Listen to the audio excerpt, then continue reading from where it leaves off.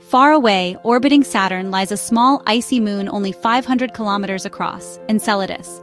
It may look like a frozen snowball, but appearances can be deceiving. Enceladus hides an astonishing secret.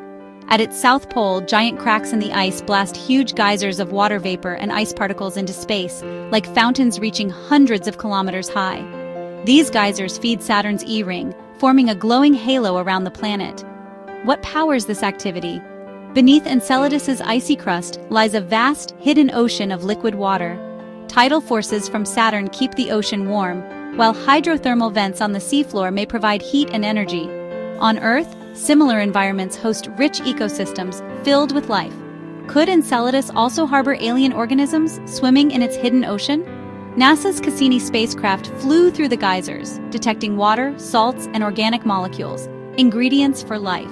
It was one of the strongest clues yet that we may not be alone. Enceladus is small, bright, and mysterious, but it may hold answers to some of humanity's greatest questions. Where else can life exist?